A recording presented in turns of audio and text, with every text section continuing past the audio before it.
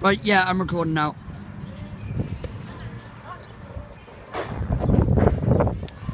Alright, so my name is Dylan and um, Oh, wait, I'm, I I've, haven't been, said anything about I've been addicted to helium for six fucking years. It's fucking great. We're gonna watch him do it. Oh my god. oh my god.